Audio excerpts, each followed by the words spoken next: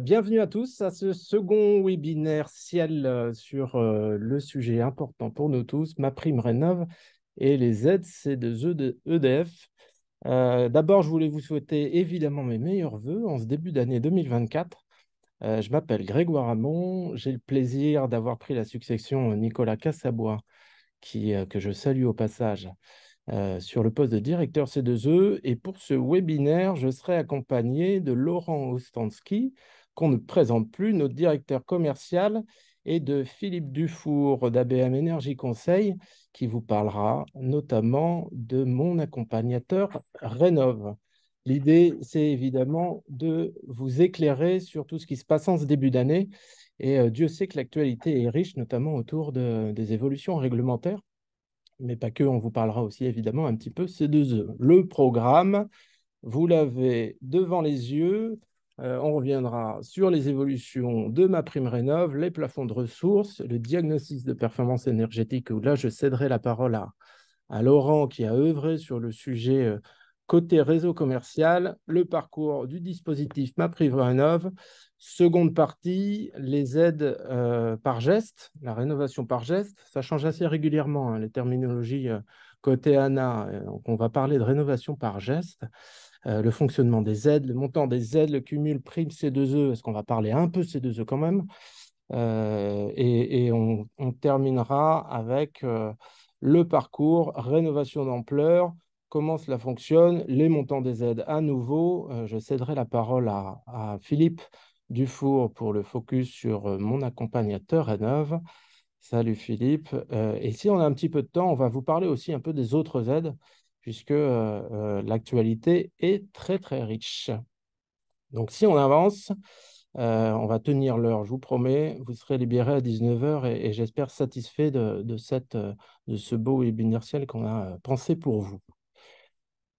Les ambitions de l'ANA, on les avait déjà partagées, elles sont euh, importantes, très importantes, 200 000 rénaux, 5 milliards de budget, euh, et avec des aides qui ont euh, assez largement augmenté, augmenté notamment parce que l'ANA intègre sur une partie de son parcours notamment la partie C2E. Donc ça, c'est des chiffres que vous avez vus déjà pas mal circuler et qu'on avait déjà partagé lors du dernier webinaire ciel le guide sur lequel on s'est largement appuyé, euh, c'est pas l'ANA, mais euh, souhaite euh, euh, apporter son éclairage autour de sa compréhension du guide. Il est arrivé très tardivement, ce guide, 28 décembre 2023, on l'attendait tous. Ce n'était pas le cadeau de Noël, mais presque. Et on, va vous parler Renault par Renault d'ampleur, les ZC2E, ma prime Renault CoPro, la prime ADAP, la prime logement. Enfin voilà, on va vous parler de tout ça et on va faire en sorte, même si on n'est pas l'ANA, à nouveau, je le répète, euh, de faire en sorte que vous compreniez euh, un peu mieux tout ce qui s'est passé euh, dans ces évolutions 2024 autour, autour des aides financières de l'ANA. Donc, si on avance, l'une des évolutions, c'est euh, notamment les plafonds de ressources. Je pense que vous êtes euh, nombreux à l'avoir déjà vu. Ce qu'on peut retenir, c'est que ça évolue à peu près partout. Euh, ça suit, ça suit l'inflation. On est près des 5% d'augmentation sur les plafonds, ce qui veut dire qu'on va toucher un peu plus de, de clients avec ces aides. Euh, voilà, le, fonctionnement n'a pas changé. on a les très modestes, les modestes, les intermédiaires, les supérieurs. Euh, et, on a euh, grosso modo certainement une cible un peu plus importante que, que ce qu'on avait eu jusque-là. Des plafonds, grosso modo, à 5% de plus, un tout petit peu moins. Si on continue, on, on, souhaitait d'abord vous parler de DPE parce que vous êtes nombreux à nous avoir contacter sur ce sujet. Euh, le, DPE est au cœur des, questions que vous posez dans le cadre de ces évolutions réglementaires. Et à quelqu'un qui va vous en parler mieux que moi, je vais lui céder la parole. C'est Laurent Ostansky, notre directeur commercial. À toi la parole. Laurent, petite précision peut-être avant de te confier la parole, j'ai oublié de le dire en intro. Vous avez un, champ Q&R, questions et réponses, sur lequel je vous invite à poser toutes les questions qui vous viennent au fur et à mesure et on prendra euh, trois moments de pause lors de ce webinaire pour pouvoir y répondre. Et c'est Laurent qui, euh, aura la lourde charge de pouvoir les, sélectionner et, nous les poser euh, dès lors où on a évidemment les réponses. Voilà. J'avais oublié de préciser ça. Désolé, Laurent, je te cède la parole. Merci beaucoup, Grégoire. J'étais justement en train de répondre euh, aux quelques personnes qui posaient déjà des questions. Euh, bien entendu, vous pouvez utiliser les questions-réponses et poser toutes vos questions. Tout au long de ce webinaire, on aura des moments de pause euh, pour répondre justement euh, à toutes vos questions. Euh, juste avant de passer au DPE, j'en profite pour vous saluer tous parce qu'il y a beaucoup, beaucoup d'adhérents et, et, de, partenaires qui sont connectés. Donc, j'en profite pour vous souhaiter mes meilleurs voeux pour cette année 2024. Alors, le DPE, en effet, Grégoire, comme tu le disais, un, ça fait partie d'un des nouveaux nouvel items euh, important de cette nouvelle réglementation. Et euh, donc, tu peux avancer, s'il te plaît. Et donc, euh, les, infos à avoir en tête sur le sujet, elles sont relativement simples. la première, c'est que à partir de maintenant, 1er janvier, le DPE devient obligatoire. Voilà. Donc, ça, peu importe le parcours, peu importe monolo, multilo, voilà, obligé de faire un DPE.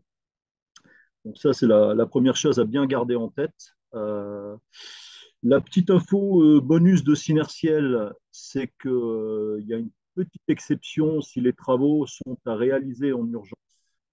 là, dans ce cas-là, il faut qu'il y ait la mention travaux d'urgence et il faut que ça soit tamponné par, par un conseiller France Rénov. Donc, il faut que vous ayez une attestation sur le sujet. Et puis aussi, on a voulu vous remettre aussi euh, la durée de validité du DPE. Euh, donc, elle est de 10 ans. Et bien entendu, euh, il y a quelques particularités à avoir en tête qu'on vous a remis juste en dessous. donc, les DPE réalisés entre le 1er janvier 2013 et le 31 décembre 2017 sont, ne sont plus valables depuis le 1er janvier 2023. Et ceux réalisés entre le 1er janvier 2018 et le 30 juin 2021 restent valables jusqu'au 31 décembre 2024. Ce que vous pouvez avoir en tête aussi par rapport à ça, c'est qu'on peut, euh, il existe un site où on peut euh, vérifier la validité et l'éligibilité du, DPE. Donc, euh, on pourra vous communiquer ces éléments-là si, si, vous souhaitez vérifier ça.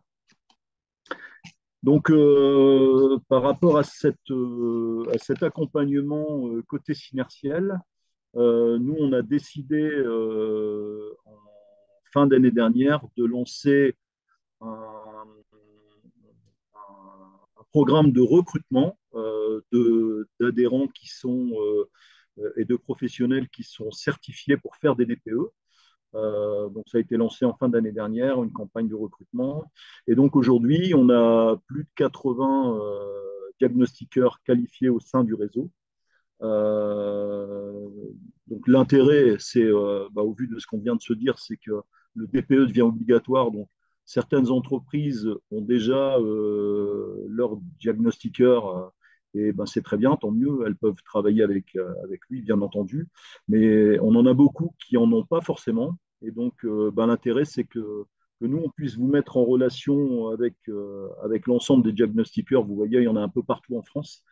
Euh, et donc pour cela, il y a, il y a un programme, de, une campagne d'appel qui va être réalisée par nos services, par Synertiel Service, qui est notre filiale euh, et qui est basée à Caen, qui va faire des appels auprès des producteurs de C2E, Synertiel, et euh, pour vous demander tout simplement si vous avez bien un, diagnostiqueur certifié.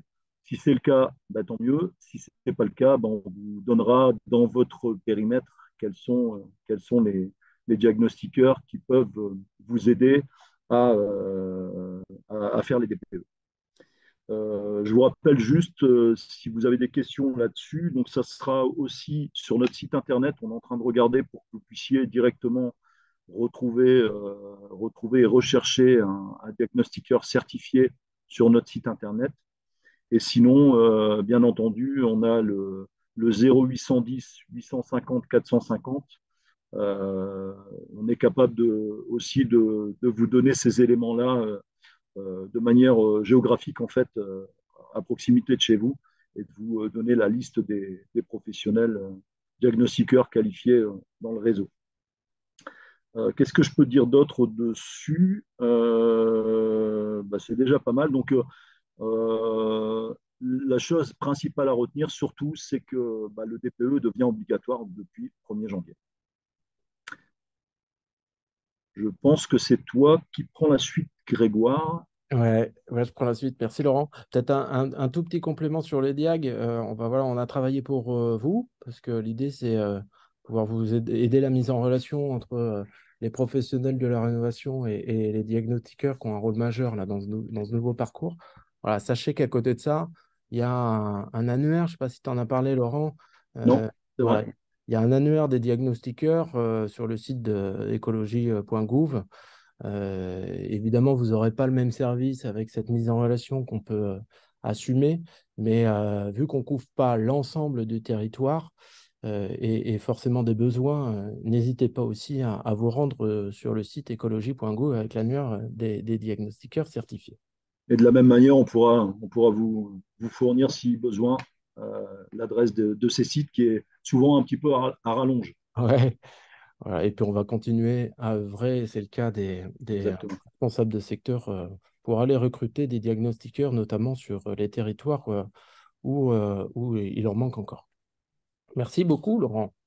Avec plaisir. Si on enchaîne, euh, si la présentation est bien passée, c'est bon. Donc ça, c'est le cœur du, euh, du, euh, du, parcours MPR avec les deux grosses familles qui ne cessent de changer de nom, mais voilà, on commence à avoir un nom un peu définitif. ce qu'il faut retenir, c'est qu'il y a deux grands parcours. Celui par geste, qui est finalement orienté changement de chauffage euh, pour arriver sur du, euh, décarboné. Et, euh, et l'autre parcours, c'est l'ancienne rénovation globale, qui s'appelle dorénavant rénovation d'ampleur. Donc, ce qu'il faut retenir là-dessus, c'est que la rénovation par geste est accessible pour les étiquettes de A à E.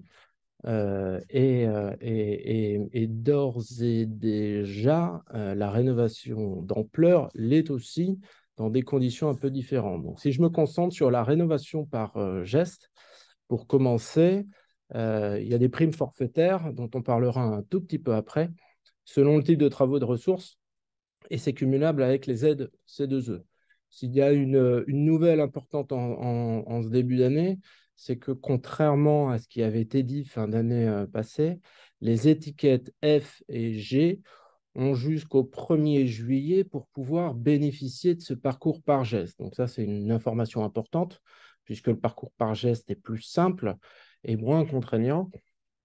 C'est une bonne nouvelle, plutôt une bonne nouvelle vue de nous, euh, qu'on euh, ait encore six mois devant nous pour pouvoir travailler en monogeste euh, les étiquettes F et G qui deviendront du coup qui devront obligatoirement passer à partir du 1er juillet euh, ces étiquettes F et G par le parcours rénovation d'ampleur euh, avec euh, un fonctionnement autour des aides financières un peu différent, des primes à hauteur d'un pourcentage du montant total des travaux et, et, le cumul avec les aides C2E est, fait un peu différemment puisque c'est l'ANA qui valorisera aussi cette partie C2E donc euh, euh, inclus dans, le, dans les montants euh, que pourront, que, que, pourront proposer, qu'on pourra proposer au client final.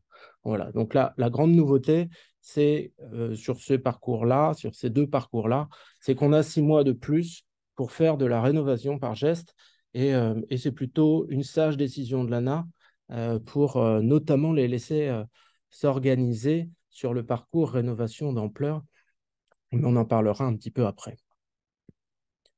Euh, si on parle euh, un peu dans le détail de la rénovation par geste, donc la rénovation par geste, euh, il y a quelques obligations. La première, sauf pour les appartements, mais la première, c'est installer un système de chauffage ou d'eau chaude sanitaire dit décarboné. Et là, vous avez juste en dessous de, cette partie obligatoire la liste du matériel éligible, les chauffe-eau, les packs, les chauffe-eau solaires, le système solaire combiné, euh, dont on parlera tout à l'heure sur la partie C2E, chaudière bois ou, ou granulé.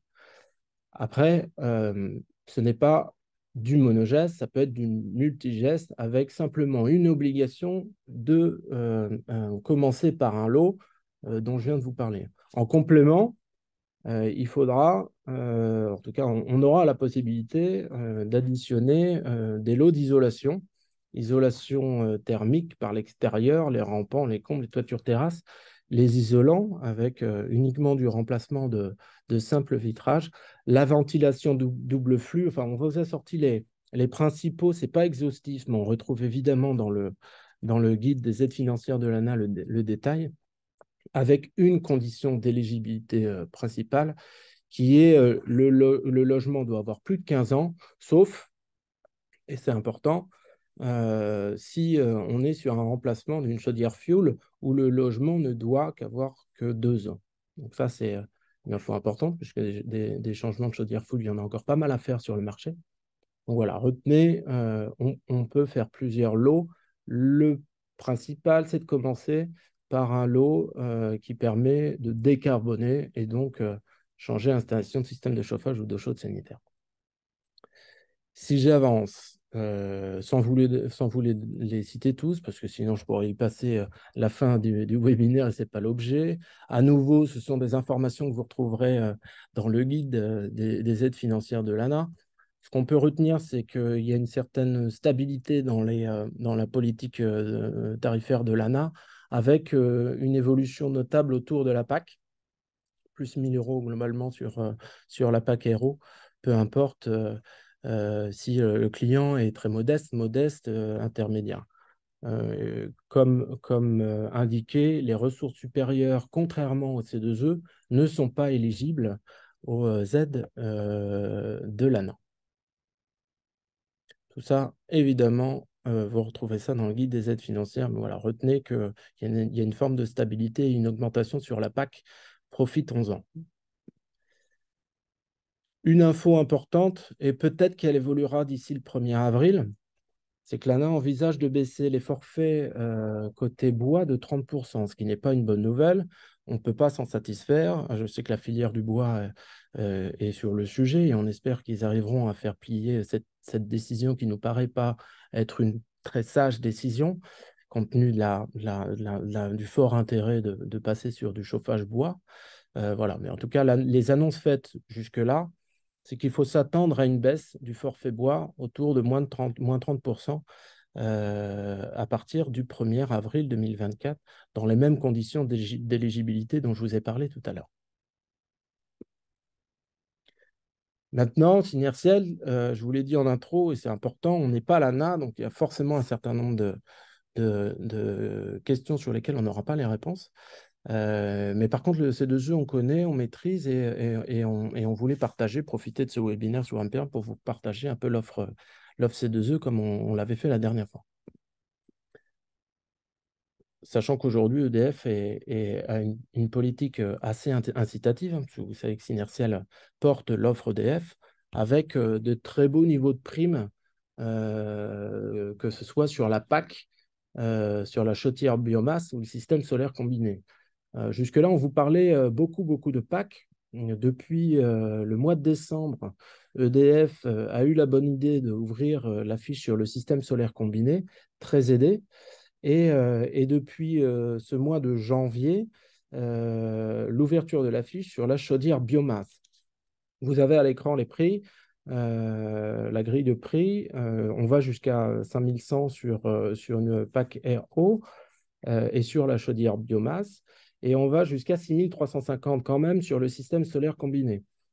À ça, on peut ajouter un prêt bonifié par EDF qui a un taux euh, exceptionnel euh, grâce, euh, grâce aux partenaires de Mofinance à partir de 2,45 sur, sur tous les coups de pouce et en l'occurrence ceux que vous voyez à l'écran, PAC, biomasse, système solaire combiné. Une info importante pour le règlement de vos dossiers C2E, l'une des forces de Synertiel, c'est euh, sa capacité à vous payer rapidement. Et rapidement, euh, vous l'avez à l'écran, c'est sous 15 jours, euh, ce qui est assez exceptionnel sur le marché des C2E pour, pour bien connaître le fonctionnement de la concurrence par ailleurs. Voilà, force de Synertiel, la, tarification EDF, les prêts, les prêts de Mofinance, et puis notre capacité à vous accompagner en proximité à distance avec des délais de paiement super rapides. On n'oublie pas l'isolation, puisque là, la tarification est, aussi plutôt sympa, jusqu'à quasiment 13 euros du mètre carré sur l'isolation des combles et de toiture, et un peu plus de, de 12 euros du mètre carré sur l'isolation des murs, avec des taux là pareil. je pense que quand, quand, on va consulter sa banque, on est plutôt autour de 5, voire 6% sur des travaux de rénovation. Euh, là, là, là, toujours, Domo Finance propose des, tarifs super sympas, autour de 2,65, euh, à partir de 2,65% sur, euh, sur l'isolation des combles et de toitures, et 4,29% sur l'isolation des murs, dans la même logique sur ces dossiers C2E isolation. des règlements courts et l'accompagnement que vous connaissez avec Synertiel. Euh, qui, euh, qui, ne changera pas et qu'on continuera évidemment d'améliorer euh, au fur et à mesure de, de, de, vos retours. Un petit exemple, parce que voilà, ce n'est pas toujours simple à comprendre. merci Gaël qui m'a aidé à, à préparer ce, ce, webinaire. Un petit exemple pour vous aider un peu à comprendre. Quoi. L'installation, là en l'occurrence, d'une pompe à chaleur et, une, isolation de 60 mètres carrés. Voilà, coût des travaux estimé à 23 000, évidemment. Euh, c'est discutable, mais on, estime que c'est à peu près ces, coûts de travaux-là, avec euh, des aides qui peuvent monter jusqu'à plus de 12 300 euros et un reste à charge limité à un peu plus de 10 000 euros. En face de ça, vous pouvez y mettre un prêt d'homo euh, bonifié par EDF sur, sur 60 mois, qui dépasse tout juste les 200 euros par mois.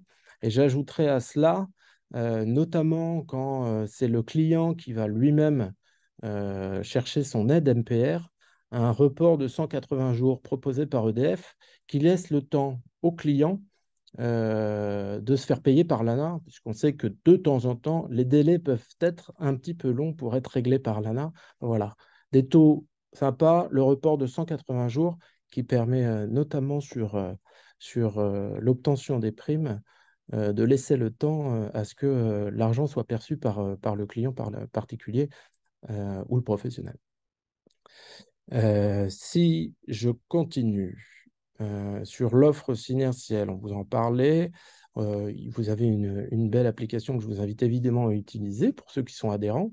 Les autres, vous la découvrirez bientôt, j'espère des boîtes à outils avec tout ce dont vous avez besoin pour parler ces deux euh, soit dans vos entreprises, soit vis-à-vis de vos clients. Et puis, une des forces, au-delà des délais de paiement dont je vous parlais tout à l'heure de Synertial, c'est tout le service qu'on y met et tout l'humain qu'on y met en face, avec des commerciaux sur le terrain et avec toute une cellule que vous avez à distance d'assistantes administratives et, commerciales qui peuvent vous accompagner au quotidien pour euh, mieux appréhender euh, le montage de dossiers C2E et vous permettre, in fine, euh, d'en faire un vrai outil de différenciation commerciale pour, vos activités dans vos travaux de rénovation.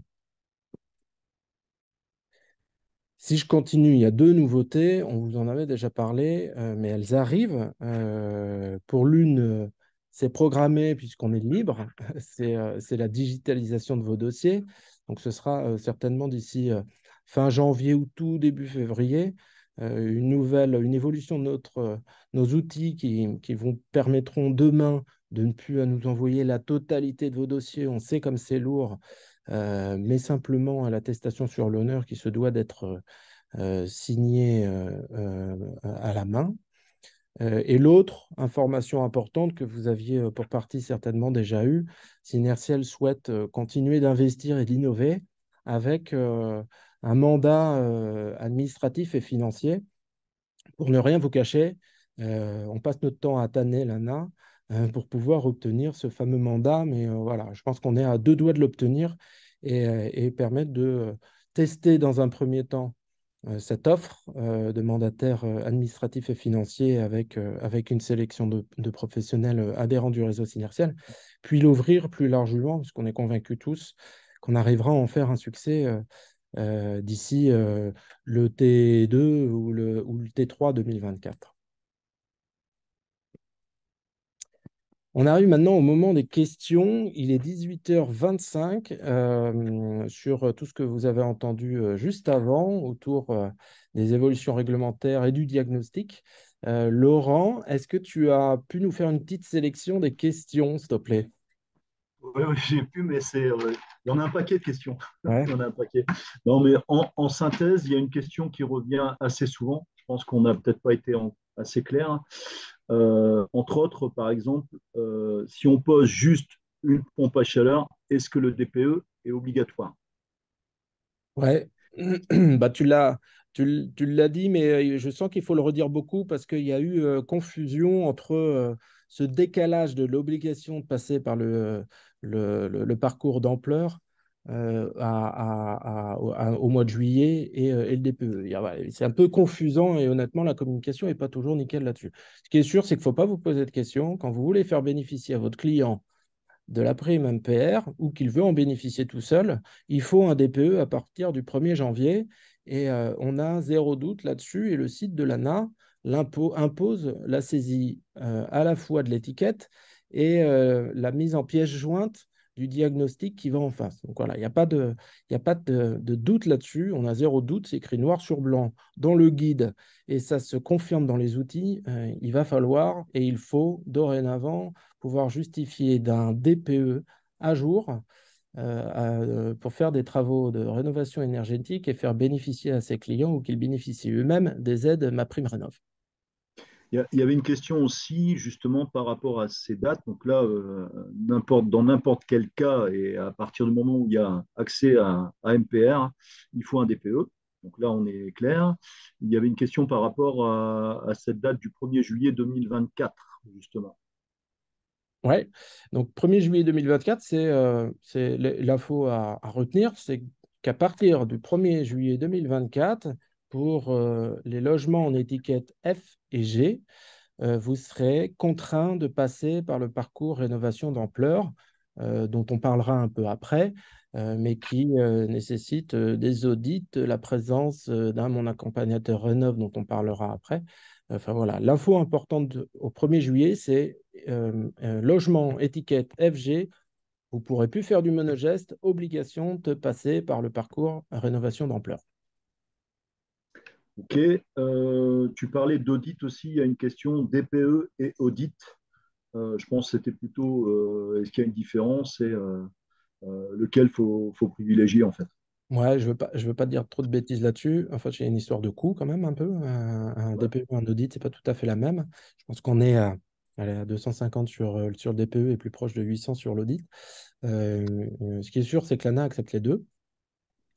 Euh, mais, euh, mais, euh, mais pour rentrer un peu plus dans le détail sur ce sujet-là, on va vous rediffuser le question-réponse et la foire et questions qu'on avait conçu grâce à l'aide d'un de nos, administrateurs, Alexandre Rettenauer, lors du dernier webinaire où vous avez quelques précisions sur ce sujet et je préfère ne pas rentrer trop dans le détail, sinon je vais vous dire des bêtises. Ce qui est sûr, c'est que les deux sont acceptés, mais les deux n'ont pas le même coût. J'ai précisé, d'ailleurs, j'ai répondu directement dans les questions. Il y avait des questions autour du montant du, DPE. Donc, en effet, ça tourne autour de, 150 euh, euros. En tout cas, moi, c'est les, organismes avec lesquels j'ai discuté et ceux qui sont euh, rentrés chez nous en tant qu'adhérents euh, m'ont confirmé que ça tournait, que c'était autour de, 150 euros. je propose une petite dernière, Laurent, parce qu'après, on a encore pas mal d'infos. Veux bien. de toute façon, on répondra, on répondra aux questions on a les noms, comme euh, certains disent. Donc, on répondra aux questions euh, par la suite. Une dernière, c'est peut-être pour toi. Il y a une, différence entre le barème des revenus de l'ANA et le barème des C2E. normalement, ils sont alignés. Euh, c'est ce que je pensais. Si quelqu'un rencontre une difficulté, n'hésitez pas. Mais, mais non, non, il y a, les, les, barèmes sont alignés. La différence entre les deux, c'est que le, le, client, le client aisé, on va dire, en tout cas celui qui rentre pas dans le, dans le barème de l'ANA, peut bénéficier des C2E, alors que le barème de l'ANA est un peu limitatif. Ok. je vous propose d'avancer, puis comme le disait euh, très justement Laurent, on va faire en sorte de constituer une foire à questions comme on l'a fait la dernière fois, euh, pour euh, répondre aux questions là où on a la réponse.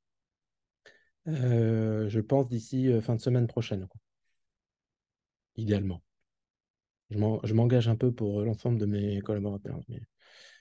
Alors, si on avance, euh, deuxième parcours important, c'est le parcours rénovation d'ampleur qui ressemble un peu euh, à ce qu'on connaissait autour de la rénovation globale.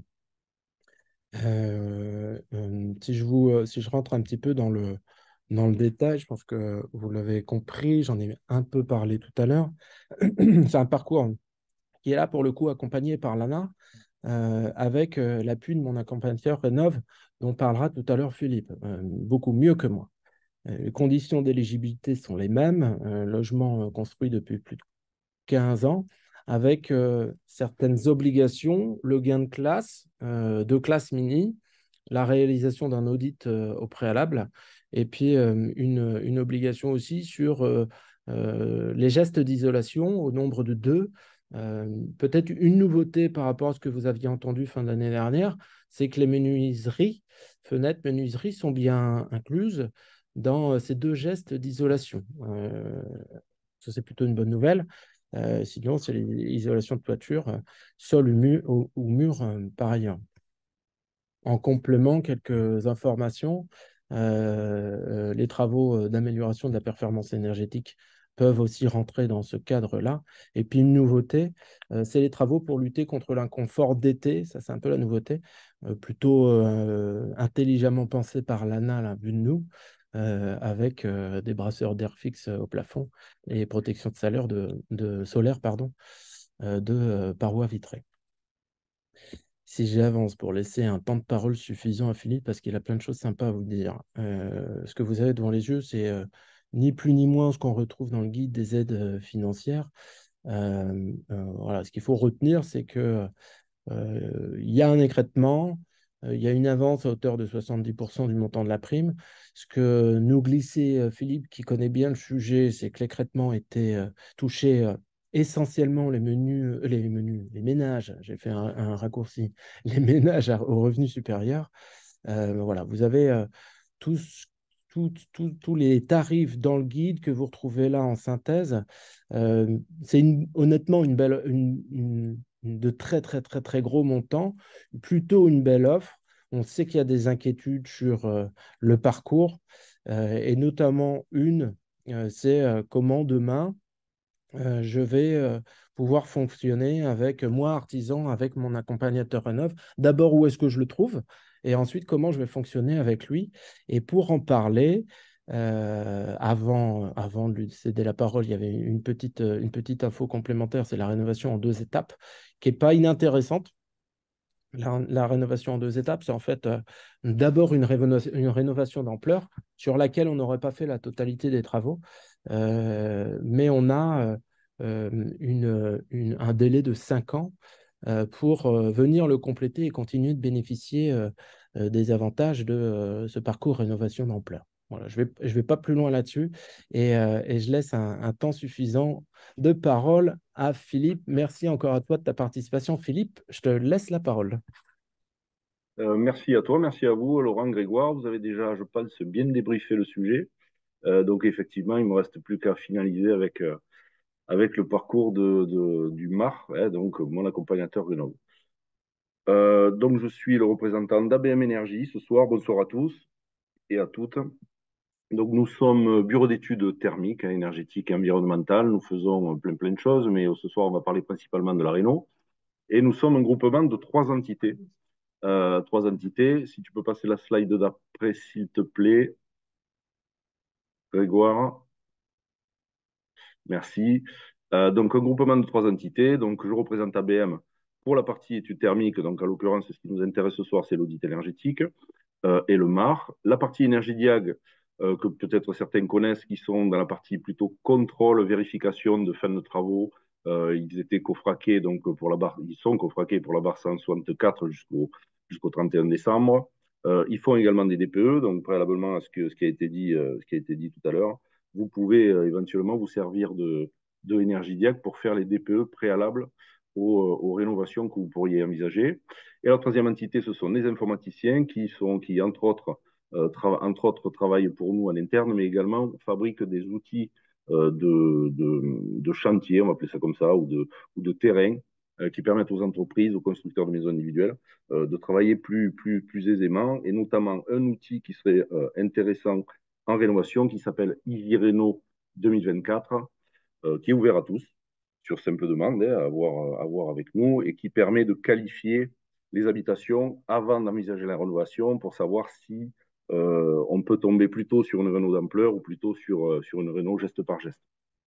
Alors, bon accompagnateur, je suppose qu'on va avoir pas mal de questions. J'en ai, euh, fréquemment et ce sont très fréquemment également souvent les mêmes. La mission d'accompagnateur est obligatoire, comme vous l'avez, comme vous l'avez cité préalablement, à partir de juillet pour les classes énergétiques F ou G. Mais elle est ouverte à tous et à toutes. C'est-à-dire que euh, qu'on soit en classe A, B, C, D, E, F, G, on peut très bien avoir recours à un accompagnateur Renault. Ça, c'est le ménage qui le décide. Le contrat est fait entre le ménage et l'accompagnateur. Euh, c'est donc le ménage qui contracte la mission dans le cas où il a décidé de, ne, pas être, euh, mandataire administratif sur son dossier, qu'il ne, connaît pas forcément bien les aides, qu'il ne connaît pas forcément bien le monde de la rénovation et des travaux associés. Donc c'est le ménage qui contracte la mission. Elle sera donc obligatoire à partir de juillet quand on est en F ou G. Donc qui dit accompagnement dit euh, réseau d'ampleur. Et donc ce n'est ni plus ni moins, pour être précis, parce qu'on me pose souvent la question, que de l'accompagnement. C'est-à-dire que l'accompagnateur, le MAR, n'est pas décisionnaire. Il ne vient pas en opposition euh, d'un devis ou d'une préconisation que l'installateur aurait pu faire auprès, de, auprès du ménage quant à l'isolation d'un plancher, l'installation d'une pompe à chaleur. Donc sa mission principale de bout en bout, c'est d'accompagner le ménage. Il va l'aider à demander ses primes, il va l'aider à euh, étudier ses devis, il va l'aider donc à obtenir ses primes, il va l'aider au cours du chantier, mais il ne va faire que l'aider. Il ne prend aucune décision à la place du ménage. Et dans tous les cas de figure, il sera forcément en accord et en discussion avec l'installateur euh, sur, la rénovation en question. Il y a des phases obligatoires, notamment deux, euh, visites sur site, une euh, avant travaux, une, une fin de travaux, mais on va on va le voir juste après. Cet accompagnement est aidé en fonction des revenus. Le plafond de, l'aide est, est, de 2000 euros TTC et donc 100% pour le revenu très modeste, 80% de ce, montant euh, pour les, euh, les, revenus modestes, 40 et 20%, donc euh, subventionnés par la NAP simplement. Voici le parcours. Alors, je vous laisserai le digérer quand vous aurez le, retour du webinaire à, lire et à regarder euh, euh, tranquillement. Mais qui est important de savoir, c'est qu'il y a des phasages, et ces phasages, il faut les respecter, évidemment. Vous les connaissez, hein, même si, même si euh, le, slide est nouveau, vous connaissez tous les phasages. Notre, vision de l'accompagnement, il est celui-ci. On imagine que vous utiliseriez un logiciel préalable, en l'occurrence Renault, pourquoi pas, évidemment, pour qualifier le projet et savoir dans quelle catégorie on se trouve et quels travaux seraient intéressants de proposer à, à, au ménage. Ça, c'est notre outil. La seconde, euh, c'est le contact avec France Rénov, puisque c'est quand même la grosse porte d'entrée qui dit, voilà, vous êtes dans telle situation, il faut contacter euh, mon accompagnateur Rénov. On vous donne une liste d'accompagnateurs de MAR, ou vous en connaissez d'ailleurs un, et vous pouvez, le, pouvez contracter un, un contrat avec lui. Nous créons un portail client qui va nous permettre, dès le début, de pouvoir commencer à alimenter des documents qui feront du bout au bout jusqu'à la fin, jusqu'à la fin des travaux le gros du dossier de l'accompagnement avec tous les conseils euh, sur, l'utilisation du logement, le carnet d'information du logement, le contrat MAR, euh, les plans, l'audit, etc., etc. Donc ça, c'est le portail client, on est à la partie informatique. Dans notre vision des choses et en partenariat avec Synertiel, Synertiel ayant le mandat administratif, c'est eux qui vont créer le compte euh, de demande d'aide auprès de l'ANA pour les aides financières à partir de ce stade, ce, stade, le MAR a l'obligation de faire une première visite sur site. La première visite, elle consiste en deux choses. La première, c'est faire l'état des lieux de l'habitation et de la situation du ménage, que ce soit en termes de précarité énergétique, que ce soit en termes de revenus forcément, que ce soit en termes de potentiel péril euh, du bâtiment, en termes de structure, en termes d'étanchéité, etc., etc. Et en même temps, il peut faire l'audit énergétique, ce qui, est, ce qui est notre cas à nous, puisque nous sommes à la base de thermiciens, nous, réalisons, nous réaliserons avec la mission MAR en même temps l'audit énergétique. Pour rappel, l'audit énergétique peut être sous-traité par un MAR. Il existe des MAR qui ne voudront pas et qui ne, qui ne, qui ne prendront pas la mission d'audit et qui pourront la sous-traiter à notre intervenant. L'audit étant réalisé, on s'accorde avec l'entreprise, avec le ménage sur les travaux qui, sont, qui doivent être réalisés. Le, et là, les devis peuvent être faits. Ensuite, la démarche, ben, elle est, elle est j'allais dire, quasiment identique à ce qu'on faisait avant. Hein. On monte le dossier de dépôt de demande d'aide, on, on, envoie l'instruction reçue de la part de l'ANA sur le montant d'aide validé, on peut réaliser les travaux. Il y a une seconde visite du MAR qui va permettre de vérifier ou en tout cas de mettre en cohérence euh, ce qui a été décidé dans l'audit, ce qui a été prévu de viser et ce qui a été installé. Donc c'est un contrôle de cohérence. On va appliquer aussi le carnet d'information du logement. Pour information, rapidement, le carnet d'information du logement est, obligatoire déjà depuis un an euh, sur tous travaux de rénovation impactant sur la consommation d'énergie. On finalise le montage du dépôt des aides et on a l'attribution du solde des aides quand, euh, quand les travaux sont terminés. Donc, vous avez vu qu'à ce moment-là, ou, durant tout le parcours, à aucun moment le MAR ne décide de ce qui va être fait.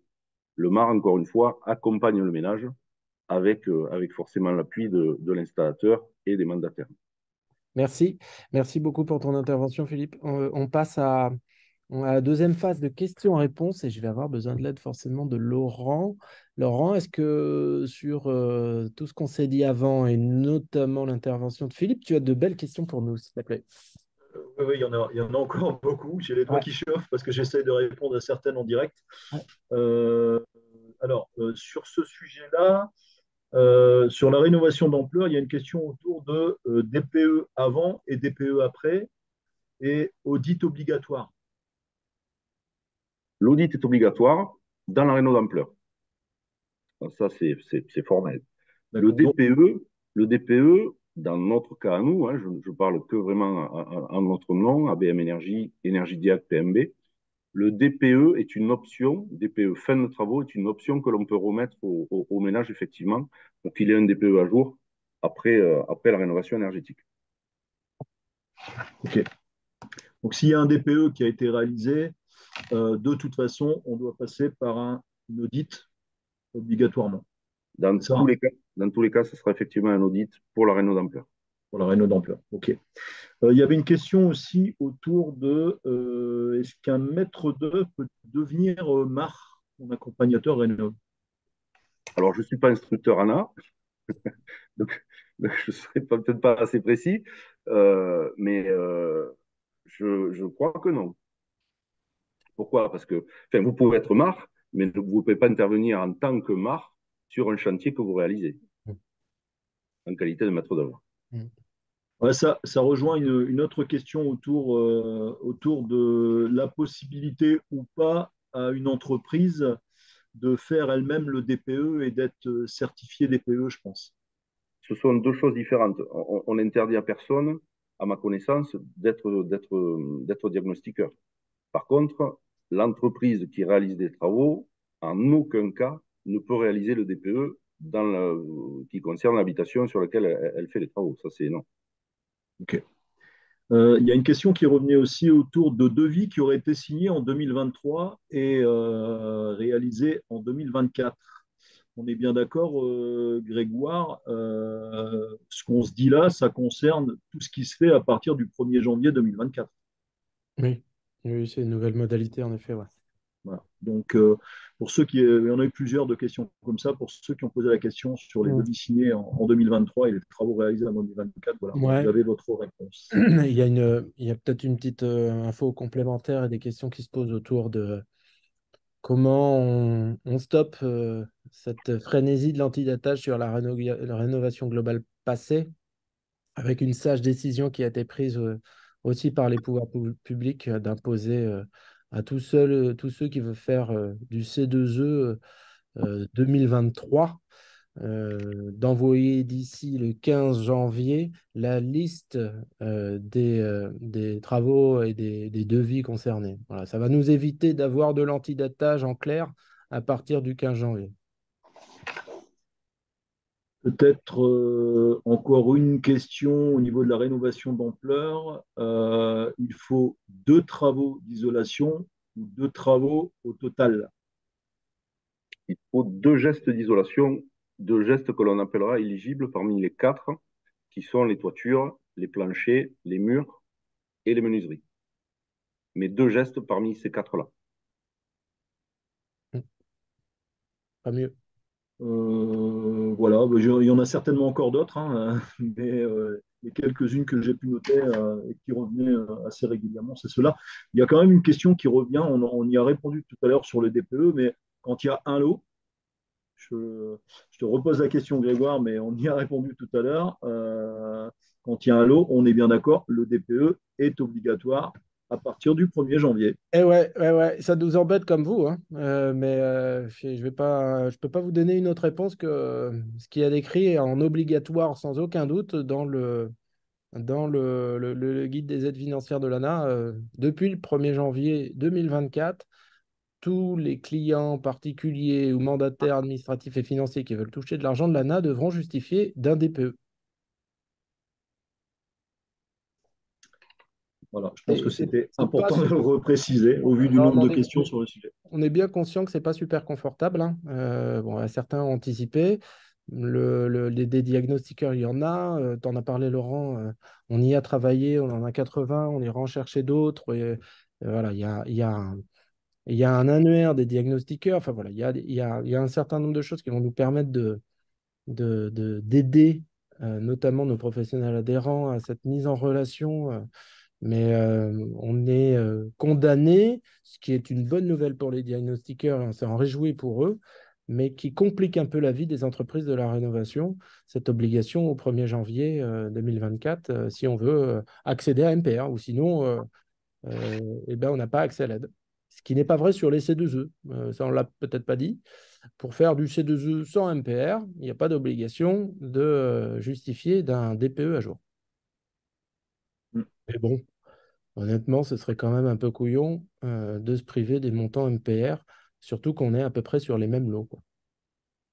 Peut-être une, dernière question pour Philippe. il y a une personne sur le, chat qui demande si depuis le 1er janvier, la plateforme euh, est accessible sur l'ANA et on peut euh, déjà, d'ores et déjà, euh, faire des projets de rénovation d'ampleur. Oui, bien sûr. encore une fois, pour rappel, la réno d'ampleur est ouverte depuis le 1er janvier, mais, mais également la mission d'accompagnement, donc le, mon accompagnateur rénov, est ouverte à tous j'allais dire, quelle que soit, l'étiquette. L'obligation, par contre, elle sera pour les F ou G à partir de, à partir de, juillet. Mais d'ores et déjà, un ménage qui le désire peut très bien faire de la réno d'ampleur, peut très bien contracter un, un, un MAR et faire ses démarches, ou en tout cas être accompagné pour faire ses démarches. Ok, c'est clair. Merci. On peut prendre encore une ou deux questions. Laurent, si dans la liste importante de questions, euh, tu arrives à en ressortir euh, qu'on n'aurait pas déjà traité Oui, il y en a une là que je viens de voir. Est-ce que le MAR décide des entreprises qui sont choisies? Ah. C'est une, question, très intéressante. Le MAR, encore une fois, a la mission d'accompagnement. Euh, il est évident que si en tout cas, je parle encore pour moi, si on, constate que des devis ne correspondent pas du tout à l'idée que le ménage se fait ou que le, que le, ou dont le bâtiment aurait besoin en termes de rénovation, il est évident que ça se discute. Ah, mais il n'est pas là pour décider de quelle ou, quelle, telle ou telle entreprise va faire les travaux. Ce n'est pas du tout son rôle. Euh, en général, on ne reçoit qu'un, par expérience, on ne reçoit qu'un devis parce que commercialement, l'entreprise de travaux est déjà passée euh, elle a déjà émis ses, devis et ses propositions de travaux. Le MAR les, consulte, euh, regarde le contenu, euh, déjà s'il ne manque pas des choses pour, l'éligibilité aux aides, voit avec le, avec le client si ça correspond à ses attentes et si énergétiquement c'est intelligent de le faire, hein, parce que tous les travaux ne sont pas forcément intelligents. ça, c'est son rôle mais en aucun cas, il ne, décide de quelle ou quelle entreprise va, intervenir si le, ménage, pour une raison X, Y, je pense notamment à une question forcément d'investissement, euh, dit, ben voilà, moi, cette entreprise, euh, je la préfère parce que, bon, ben, euh, on en discute. Si les prestations sont égales d'un devis à l'autre, mais le prix différent, voilà, c'est ce genre de discussion-là que l'on peut avoir avec le ménage. mais aucunement, il ne décide de quelle entreprise va intervenir sur le chantier. En tout cas, pas dans notre vision des choses. C'est plutôt rassurant, je trouve, comme réponse.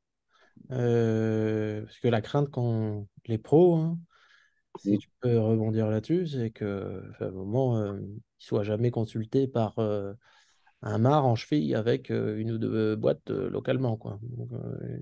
oui, bien sûr. Puis il faut, il faut travailler en bonne intelligence. Il faut, rappeler quand même que la mission finale, c'est que l'habitation soit rénovée intelligemment et que le ménage soit conforté dans ses choix euh, et qu'il en sorte une réunion, euh, une complète, belle, euh, voilà, fiable.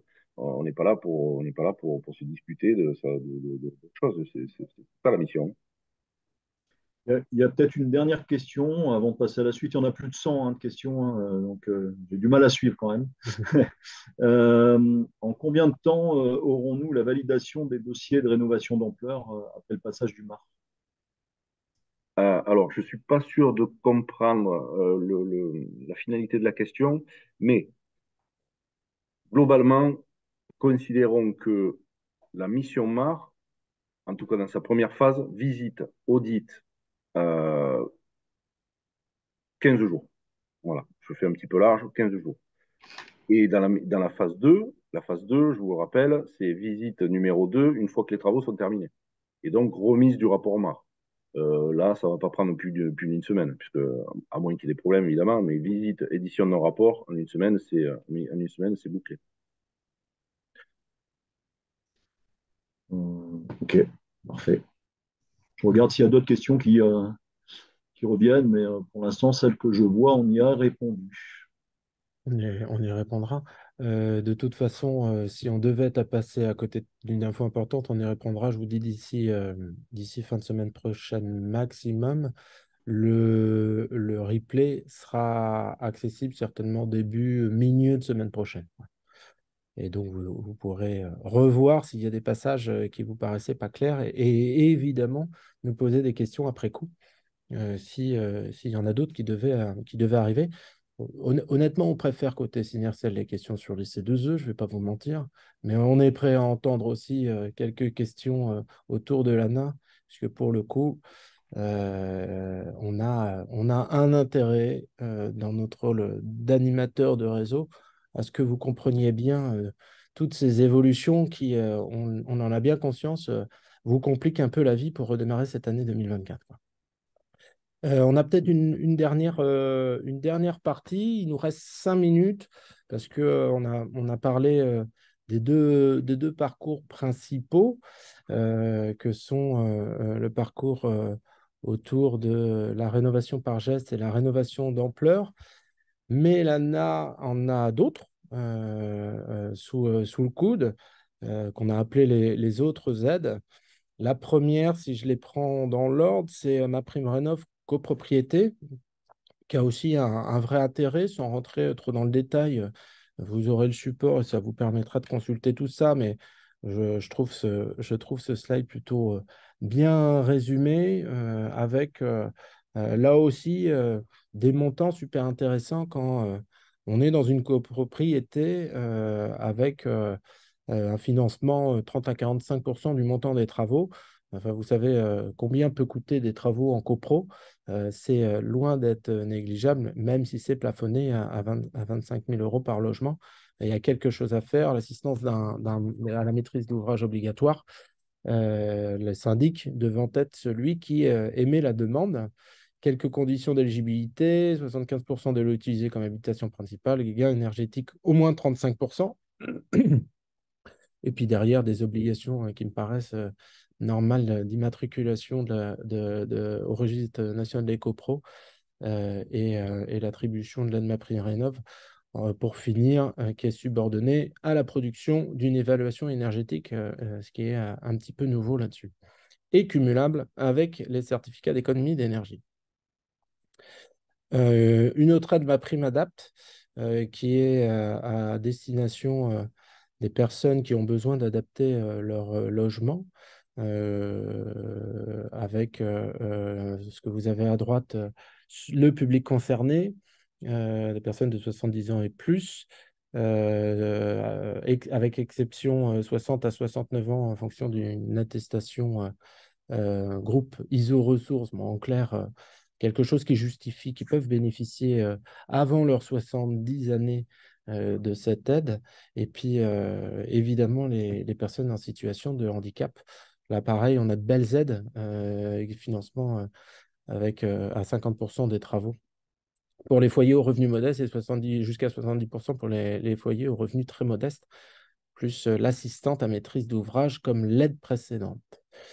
Si je continue, ma prime logement décent, orientée personnes plutôt un peu défavorisées, revenus modestes et très modestes, le logement il doit faire l'objet d'une évaluation par un opérateur ou, être sous une procédure de police de mise en sécurité ordinaire. voilà, vous avez tout à l'écran. Je ne vais pas vous lire dans le détail ce qu'il y a sur ce slide. Là, pareil, il y a un financement plutôt sympa autour de 60% des travaux. Euh, pour, euh, pour les revenus modestes et 80% pour les revenus très modestes. Euh, et je crois qu'avec ces trois aides complémentaires, avoir fait le tour des aides, on a encore deux minutes pour prendre une ou deux dernières questions. Laurent, je ne sais pas si tu en as qui sont arrivés entre deux. voilà, on peut prendre une dernière question avant de se quitter et souhaiter une bonne soirée. Euh, alors, je suis en train de regarder, je continue à répondre en même temps, parce qu'il y a des questions sur lesquelles on peut répondre en direct. Euh, euh, délai d'instruction de l'ANA et paiement de l'ANA. Je ne sais pas si on a la réponse. si on savait répondre à ça, je pense ah, qu'on serait, on serait très riche. et, là, ça ne sait pas. Je crois qu'il y a un, une régionalisation de ces délais en plus, qui fait que c'est difficile de vous répondre, mais j'ai l'impression que Philippe euh, sait nous éclairer un peu là-dessus. Non, justement, j'acquiesçais ce que tu es en train, de dire? non, c'est honnêtement difficile de répondre à la place de l'ANA là-dessus, et, je pense que d'une région à l'autre, d'un client à l'autre, d'un mandataire à l'autre, euh, on peut passer de 15 jours à 6 mois euh, comme ça. Donc voilà, c'est difficile d'y répondre. Il y a peut-être une question. Euh, est-ce que tu peux préciser pour la réno d'ampleur les lots euh, qui sont euh, éligibles ou obligatoires? Parce que là, j'ai une question, par exemple, peut-on bénéficier de la réno d'ampleur pour panneaux photovoltaïques, ballons thermaux et isolation des comptes Ouais. Si je regarde un peu dans le détail, alors attendez, je ne vais pas vous dire, je vais pas vous dire de bêtises là-dessus. Si, tu me permets, Grégoire, je vais. Ah, bah, je t'en prie, Philippe, si c'est encore mieux. il, faut, il, faut distinguer, il faut distinguer les gestes d'isolation, donc éligibles, euh, de, de l'ensemble des travaux d'isolation. En, en, rénovation d'ampleur, on a obligation d'avoir un gain de deux classes énergétiques et de travailler sur deux gestes d'isolation. Ça, c'est l'obligation stricte. Les deux gestes d'isolation sont concernés par les quatre postes potentiels, qui sont les toitures, enfin les plafonds de manière générale, les planchers, euh, les murs et les menuiseries. Donc il faut choisir parmi ces quatre lots-là deux gestes euh, pour prétendre euh, être éligible à la réno d'ampleur. Et effectivement, ensuite, faire les travaux nécessaires pour gagner les classes énergétiques, qui seront en l'occurrence le travail sur les systèmes de chauffage, d'eau chaude, ventilation, etc. etc. Mais l'éligibilité sur l'isolation concerne ces quatre postes-là, murs, plafond, menuiserie et, et plancher. Super, merci Philippe, ça m'a bien aidé. J'étais un peu court. Euh, on arrive au terme de ce webinaire, il est 19h. Euh, voilà, on, va évidemment répondre euh, via la foire aux questions. Je vous le redis d'ici fin de semaine prochaine à toutes les questions sur lesquelles on a la réponse, évidemment. Transmission du, du replay semaine prochaine aussi. Et voilà, je vous remercie. Je remercie chaleureusement Philippe et Laurent de m'avoir accompagné là, sur ce, sur ce webinaire. Gaël euh, euh, du Market chez nous m'avoir aidé à le préparer et j'espère qu'il aura euh, éclairé un certain nombre de points pour vous. Je vous souhaite une très bonne soirée et puis, et puis je vous dis à, bientôt pour un prochain webinaire avec Synertiel. Merci de votre attention à tous. À bientôt. Bonne soirée. Bonne soirée. Au revoir. Au revoir.